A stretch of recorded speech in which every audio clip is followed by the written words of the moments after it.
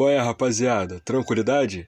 Que a Yuri é a personagem mais introvertida do jogo, todos nós sabemos. Prazer, o meu nome é Paulo e hoje nós vamos desvendar tudo sobre a Yuri de Doki Doki Literature Club. Lembrando a todos que eu já fiz um vídeo contando a história da Sayuri, então eu vou deixar um card para vocês assistirem. E bem, se você gostar do vídeo, peço para que você deixe o seu like e inscreva-se no canal caso ainda não seja um inscrito. Então sem mais enrolações, bora pro. Yuri é retratada ao longo da trama como tímida, educada, madura e sofisticada. Apesar da sua maturidade, Yuri discute com Natsuki sobre suas diferentes opiniões de estilos de escrita. Muitas das vezes, a Yuri acaba sendo insensível sem realmente perceber. Quando isso acontece, ela quase que imediatamente se desculpa, repetindo que ela não queria fazer isto. A Yuri é a que mais demonstra interesse por literatura no clube. O amor da Yuri pelo surrealismo parece estar prenunciando mais eventos do jogo, como o momento em que as suas metáforas passam a ser mais profundas e até mesmo sobre o suicídio da Sayori, deixando o jogo num tom mais medonho. Yuri prefere poemas que usam o simbolismo metafórico. Vimos que ela tem um ego absurdo por conta da sua escrita sofisticada. E, inclusive, um enorme destaque na Yuri é referente ao Portrait of Markov, onde a Yuri tem uma forte ligação com a história do terceiro olho. Olha só, não é confirmado, tá? Mas eu ainda vou fazer um vídeo só falando desse livro, pois ele tem muita influência na história. Ela também gosta de colecionar facas ornamentais que estão implícitas que ela pode usar para se cortar por razões não especificadas. Quando seguimos o caminho da Yuri, notamos que ela deixa claro que sofreu bullying por causa da sua aparência e personalidade, fornecendo uma outra possível explicação do porquê ela se isola para ter um estilo de vida introvertido. Ela é, no entanto, uma pessoa generosa, pois além de se preocupar com todos, tem um diálogo com a Mônica que ela fala que a Yuri, na inocência mesmo, tirou uma pequena garrafa de vinho e ofereceu para o clube. Outro momento bastante importante é quando optamos por ajudar a Yuri lá no festival, onde ficamos responsáveis pelos cartazes e decorações. É na casa do protagonista que ela nos revela ter uma coleção de facas e que sempre achou isso muito sofisticado. Bem, os diálogos são legais, só que no clímax eu achei meio fraco, pois acaba derramando um pouco de tinta na Yuri e ficamos com um pano na cara dela. É, daí no final tem aquele lance de que ia rolar um beijo, mas a Sayuri aparece para interromper o momento.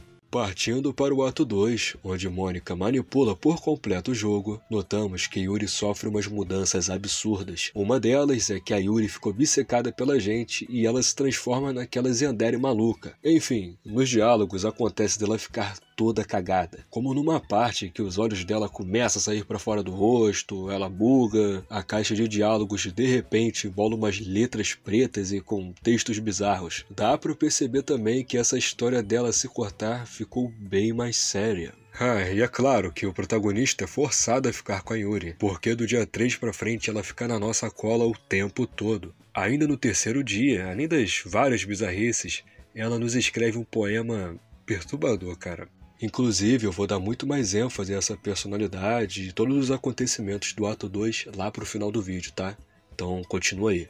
No dia 4, tem um momento em que a Natsuki nos pede para ajudar a Yuri, porque além dela ter mudado completamente, ela sente que a Mônica tem alguma coisa a ver com isso, pois ela escreve isso tudo no poema e não quer que a Mônica fique sabendo. Ah, e a Yuri pega o nosso poema e leva para casa, tá? Sem mais nem menos. E cara, o poema dela é lastimável, cara. Até a música fica diferente. E já partindo pro final do dia, Yuri fica completamente perturbada. E cara, não adianta, ela vai começar a se confessar com uma música dramática no fundo. A última escolha é quando a Yuri pergunta sobre aceitar ou não a sua confissão.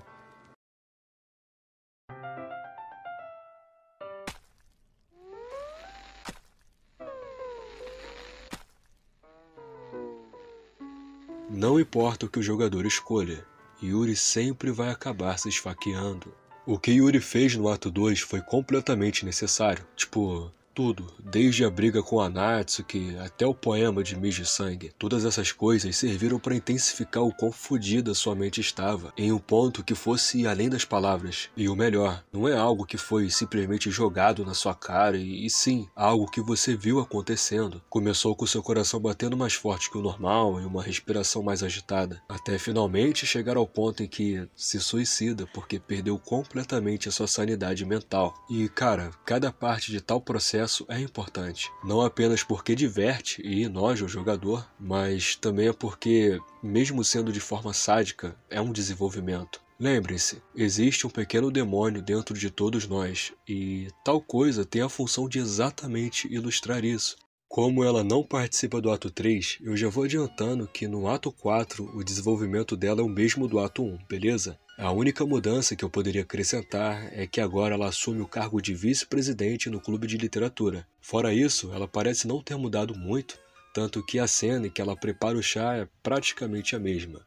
Por fim, o quão complexo é Yuri no jogo. Yuri é a personagem mais complexa de The DLC. Olhando por fora, ela não parece ter mais nada do que uma simples timidez e parece ser alguém de poucas palavras, mas basta conversar sobre seus gostos e você já nota que ela é bem mais além do Ei, eu sou tímida, me amem. A partir daí, é justamente de onde vem a sua complexidade. Yuri tem uma porrada de problemas mentais, em que ela conta a origem de todos eles e tais problemas vão ficando ainda piores no ato 2. Eles também acabam causando toda a parte, entre aspas, divertida no segundo ato, em que a sua obsessão aumentada pela Mônica faz ela fazer coisas que até mesmo sente nojo. Até a sua morte, ela estava tão severamente abalada que simplesmente diz que Mônica deveria se matar. E ela é extremamente rude com a Natsuki, isso porque o seu racional ainda funciona. Mas ela diz se sentir tão bem que não se importa com mais nada.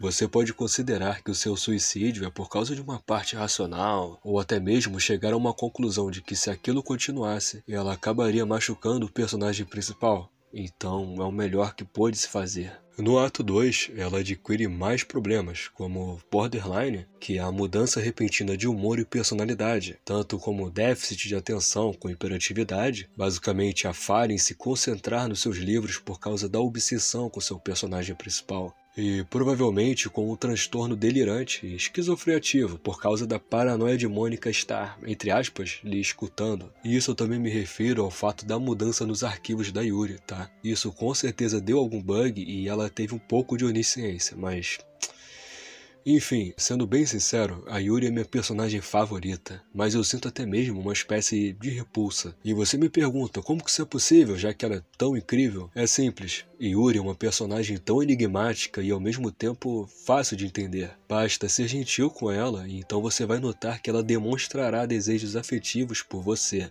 E essa foi a história da Yuri. Antes de encerrar o vídeo, não se esqueça de passar no 100 fatos sobre Doki Doki Literature Club, pois nesse vídeo você descobrirá várias curiosidades, easter eggs e bastante acerca de cada Doki, tá bom? Esse vídeo é o 3 de 5 do especial do DLC, então vocês já podem conferir essa playlist que eu vou deixar aí no card, porque ela já tem dois vídeos bem bacanas, tá bom? E bom, rapaziada, espero que todos vocês tenham gostado desse vídeo, eu vou ficando por aqui, e até o próximo vídeo, tchau!